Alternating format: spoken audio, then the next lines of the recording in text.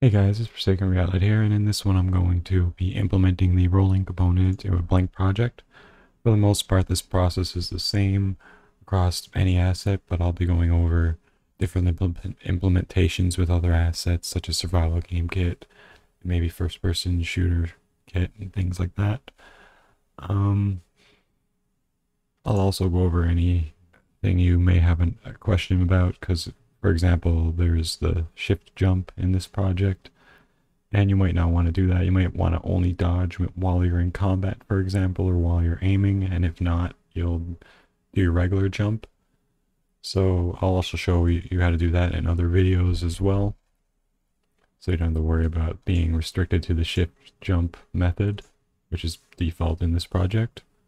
So without further ado, we'll get into implementing this, and I'm going to try to do this as fast as possible just to see how long it takes. So starting now, you want to migrate all your files over to your projects content folder. So select that folder, migrate it in, and you close out of this now. So I have my project blank project here, 4.26. I have my rolling component in.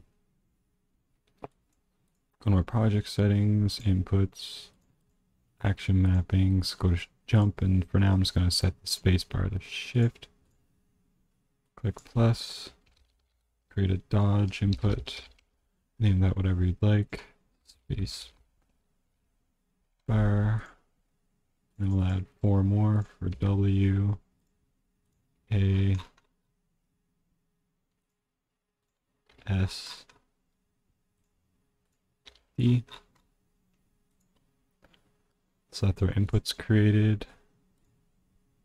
And we just close out of our project settings now. And now we'll want to go to our meshes in our rolling component. Select our skeleton. Select humanoid, save. And then go to our blank one or your character skeleton. Same process so far across any project. You need to do this. Make sure they're humanoid. And go to your meshes in the rolling component, your rolling component skeleton, and retarget to another skeleton. Click retarget, and that will send the animations to the new skeleton. And now we can open up our character blueprint. So in here it's in the third person blueprint. The third person character. We can go to our rolling component and third person character in here as well. And you can either cop first we'll want to create the rolling component over here. So type in rolling and compile and save that. You want to control C the input right here, and that's just a slow motion testing. You can take that if you want. Just toggles on and off slow motion. And paste this into your character. And we have a different input name than Dodge. So Dodge input.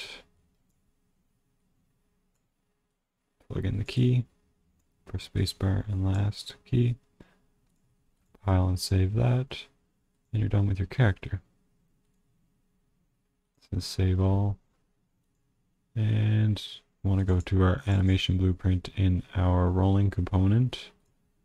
And our animation blueprint in here, which is in our mannequin for this specific one. And you notice there's no default state in here. So to adjust this specifically, the since there's no cat save pose, this is just so you can reuse, plug it into multiple areas basically. Um, so we have our locomotion cache, and then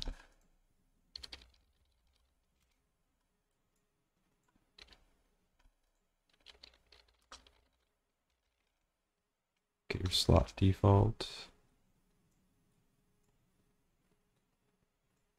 This will allow the montages to play but we'll want to play upper and lower body for more complex assets. We may need to do some changes here, and I'll do different showcases to show exactly how you do that.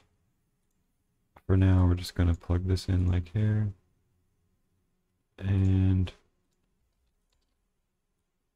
I was going to copy that over, but you don't, don't really need to do much. And there's our final pose setup.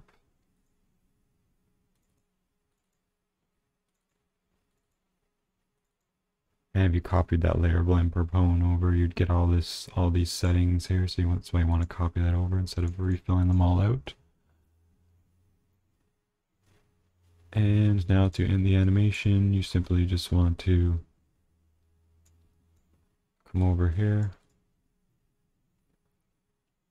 and come into your event graph for the climbing component or the rolling component and I'm just going to copy this because there's no reference to the character yet in this one. But if you have a reference to the character, you'd want to get your just the animation notify and plug your character reference in there.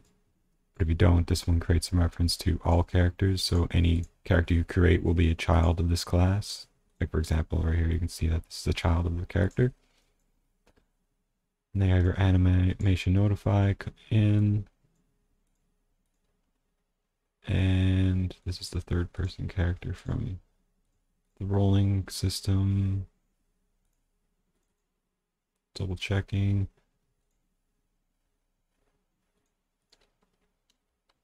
And now we have dodging, directional dodging. You can see it's because the camera angle is like that, but it's picking up each direction.